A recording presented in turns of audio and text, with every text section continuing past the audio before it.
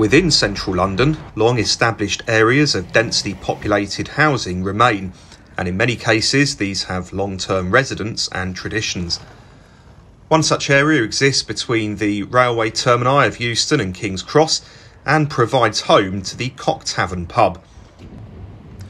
The atmosphere of the Cock Tavern is notable when compared to the refurbished pubs and theme bars that are prevalent in the immediate area.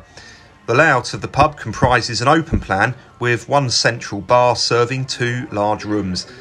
There's ample space for games and entertainment and for larger gatherings to take place.